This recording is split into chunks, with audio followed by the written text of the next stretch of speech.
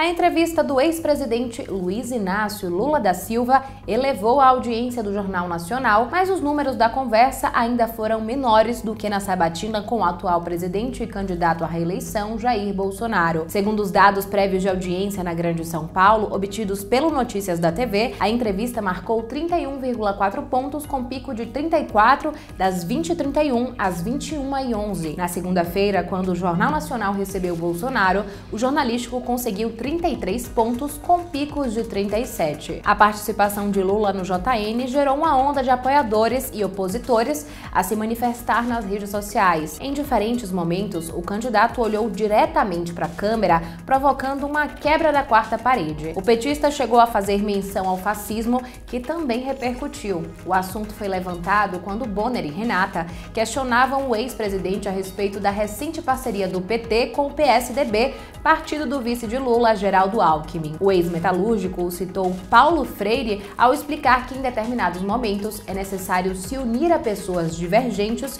para combater os antagônicos. Um dos pontos altos da entrevista foi o momento em que Lula se referiu a Bolsonaro como bobo da corte. A expressão usada no momento em que William Bonner fez uma pergunta ao ex-metalúrgico a respeito das relações com outros políticos foi parar nos assuntos mais comentados do Twitter. O que você aí do outro lado achou da entrevista? Deixe sua opinião aqui nos comentários. Eu sou Luísa Leão e te encontro em um próximo vídeo aqui no Notícias da TV. Tchau!